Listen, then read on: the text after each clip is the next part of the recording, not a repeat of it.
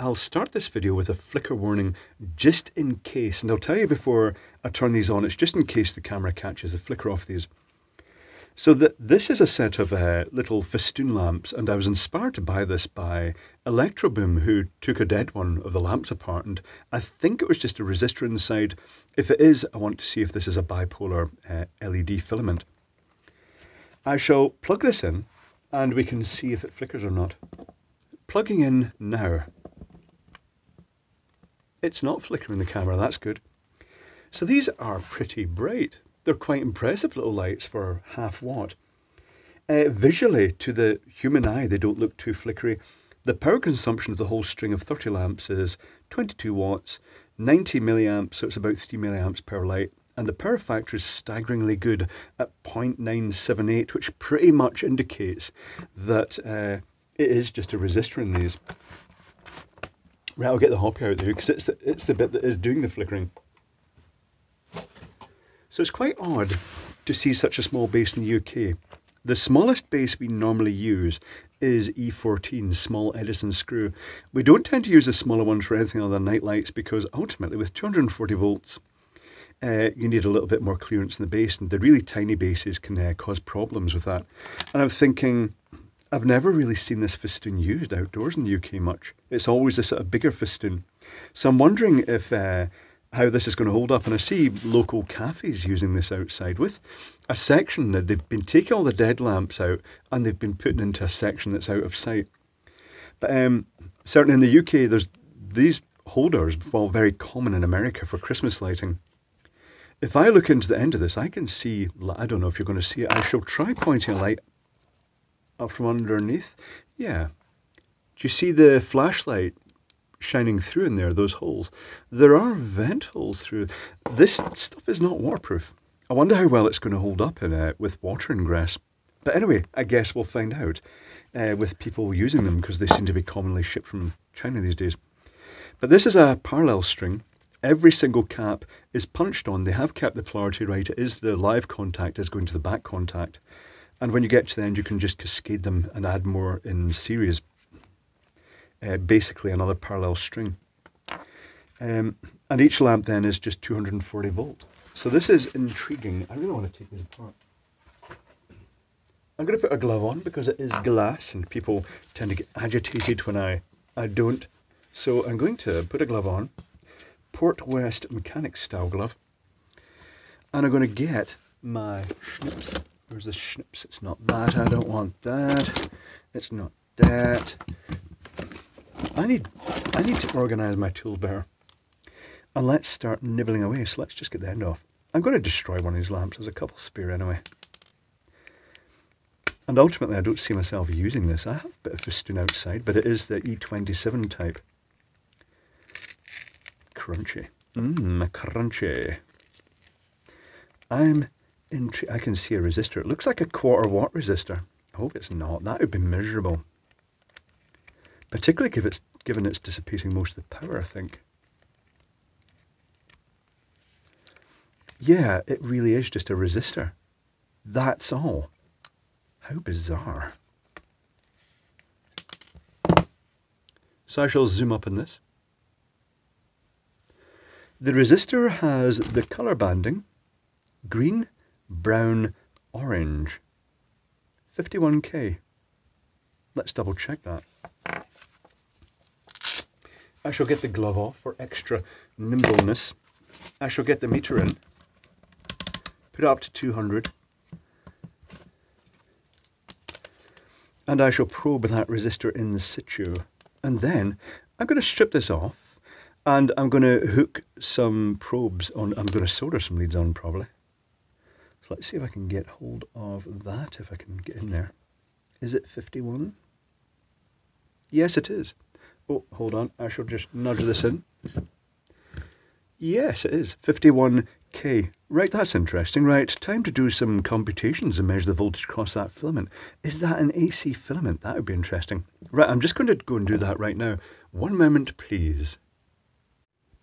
Okay, time to do some tests. I've connected the neutral onto the remainder of the shell in the lamp, the live onto the end of the resistor, and I've connected a wee orange tap off between the resistor and the LED. And if I plug this in there, you'll see the meter just show a slight reading just through capacitive coupling to me fundamentally through the lead. If I touch this to um, the neutral in here, this is why I'm using the hoppy here. Incidentally, 0.7 watts, 3 milliamps and 0.757 power factor with just one lamp on its own. It shows 110 volts across the LEDs. If I put it to the other side, it shows approximately 137 volts across the resistor at those 3 milliamps. So 137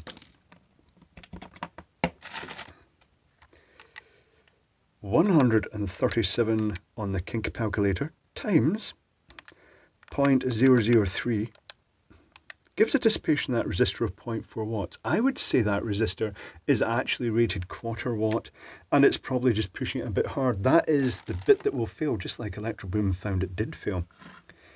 Uh, the Looking back at that uh, LED voltage, you know what? I've suddenly realised something. If this is the voltage across the LEDs about 110 volts, you could probably run these in 120 volts, these 240, 220 to 240 volt lamps, and they would be a lot dimmer, but they'd just last forever. However, uh, experiments. I tried a diode in series. Let me just unplug this and put that diode in series. Where is my diode? I have misplaced my diode. There it is.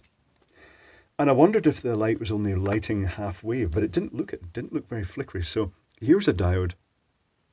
And I shall twist this wire around, plug it in, and you immediately see that flickering. It is actually lighting on both halves of the waveform. I'm not sure if they've got a little rectifier built into the filament or if they've just got a tube. It would make sense to do that, but I'm not sure how they'd achieve that in the circuit board because it would kind of require it would require a connection running from one end to the other to do that. But it looks like a long series string of LEDs. It was about 110 volts. And if you consider that uh, the typical forward voltage of an LED at that low current is, say, 110 volts divided by 2.8 equals about 39 LEDs. Did I get that right? It just seems 110 divided by 2.8 volts, uh, yeah, about 39 LEDs. Or are there 80 LEDs configured as a sort of alternating in reverse parallel? That's very strange. So the next thing I'd like to try is to dooby the whole string. I don't think it's really pushing the resistors too hard in that. I don't think it's really grilling them, although the 0.4 watt is well above the 200, the 0.25 watt rating.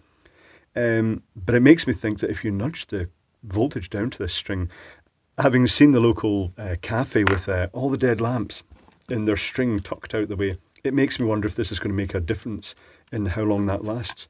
Right, tell you what, I'm going to set that up. I'll be back in one moment. Okay, let's begin the dooby test. I have the dooby tester here with just a wire link in initially. I'll plug the lights in. This is them at their full output. Uh, fairly bright. Uh, 21 watts, about 90 milliamps as before. Now I'm going to go straight to 1 microfarad. So I'm going to unplug this. I'm going to pop out the link. So was that about, uh, what was that power? I've just forgotten what that was. Just want to refresh myself here. Say 21 watts. Okay, what's it going to drop to with a 1 microfarad capacitor in series? Here is the capacitor. I shall pop it in. And we shall plug it in and see what it drops to. Still fairly bright, but they have dropped in brightness. It's over half to actually. It's down to 9 watts. Uh, 51 milliamps. So 9 watts divided by the 30 lamps, that's roughly a third of a watt. So they've actually pretty much halved in power. Um, and that is going to take a lot of strain off that resistor. It still looks very bright, still looks okay. If you're running lots in a, a, connected together in parallel with this little connector, which incidentally is missing its end cap, uh, then maybe that would uh, you could maybe use a higher value capacitor. You'd have to use a little discharge resistor across this, it's worth mentioning. Typically 1 megohm, but the voltage being dropped across that isn't terribly high. Let me just, uh, let me grab the meter in here, wedge it in at an angle, and then just probe that capacitor. For the AC voltage that is being dropped across it, it's about 160 volts, it's not that much. But there we go, interesting stuff. So these lamps, you don't really see them an awful lot in the UK in the sense that these holders are just that wee bit too small for our sort of 240 volt supply. I just don't have a lot of confidence in them in a wet environment versus the 120 volts of America. Do you guys in America have problems with the lamp holders burning up inside? Certainly we've had problems even with the E27, the fairly big uh, screw-in lamps. I'm just trying to see if I've got an example of that here. No, I've not. That, that kind of fits. Yeah, that one. Uh, this, we, we even have problems with the water getting in and causing problems with those. But there we go. Interesting. So if you have a set of these and it's killing lamps on a regular basis, stick a 1 microfarad capacitor in series with a 1 megohm discharge resistor across it, sleeve it up well, put it somewhere safe, and it should actually save the life expectancy of these lamps and make them last a lot longer. But it will make them a little bit dimmer, but they will just last longer, which is probably a better thing than if the particularly if they're failing on a regular basis.